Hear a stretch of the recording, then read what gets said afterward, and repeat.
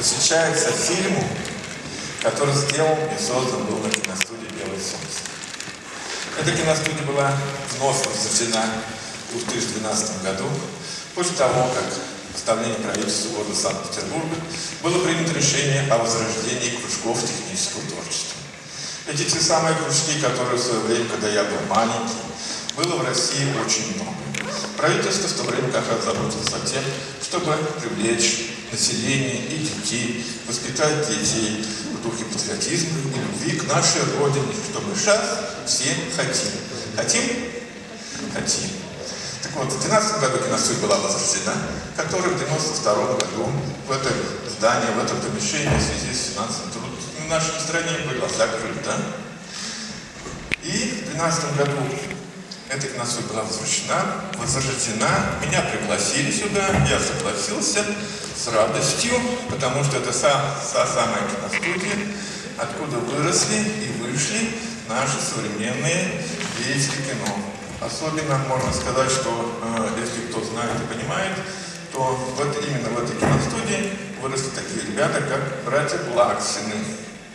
Если кто знает.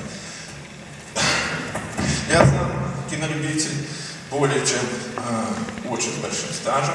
Когда я еще был совсем маленький, в школе занимался фотографией, э, театральным искусством.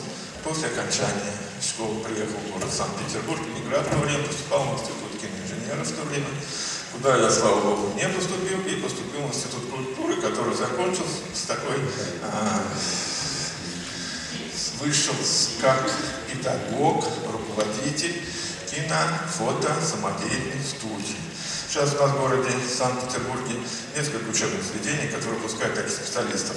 Четыре года назад у нас в университете кинотелевидения была такая студия, факультет открытый, открыт факультет, который тоже готовит педагогов и руководителей кинофото студий. Чем хороша эта специализация для тех, кто хочет поступать, например, в какие-то высшие учебные заведения и думает, куда поступать. В отличие от тех ребят, которые учатся конкретно на режиссера, оператора и звукорежиссера, киностудия дает возможность э, детям, которые желают прикоснуться к кино, заниматься всем, чем только можно в кино. Гримеры, пожалуйста, костюмеры, пожалуйста, операторы, звукорежиссеры, звукооператоры. Все специализации, которые есть в кино, эта специализация, эта специальность, которая сейчас у нас в университете, это возможность дает. Быть педагогом и руководителем такой киностудии очень хорошо. Я вот считаю, что я очень классно пристроился. В моей киностудии я делаю все, что я хочу. Кино, пожалуйста, оператор, пожалуйста, режиссер, пожалуйста, гример, костюмер. Это все. Я сам себе хозяин. Набираем ребят, снимаем. Все. Поэтому этот фильм создан при нашей киностудии. Режиссер это Николай, который просто обыкновенный кинолюбитель, которому нравится снимать кино и хочет снимать кино, но специально его специальность Э, специальное образование профильного у него нет. Это такой же человек, как мы все. Как мы все дворники, доктора, профессора, космонавты, все, кто хочет. Он приходит и говорит, я хочу снимать кино. Мы ему пожалуйста, мы сняли кино. Оператор этого фильма, Разочек Загретинов, он, видите, сидит полосательный такой, симпатюрик.